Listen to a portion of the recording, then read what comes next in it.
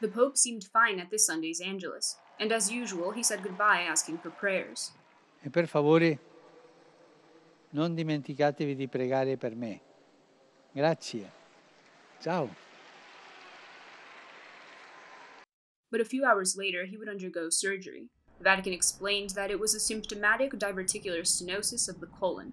It was a scheduled operation, not an emergency one. The operation is called resection of the large intestine, which is the part that goes before the rectum. The inflamed part is removed, about 20 centimeters of intestine more or less, and the parts are joined, as if it were a tube in which you remove the part in the middle and join the ends. Gabriella Capolupo explains that this operation has nothing to do with the Pope's sciatica. According to experts, it requires about three days of recovery, and complications are rare.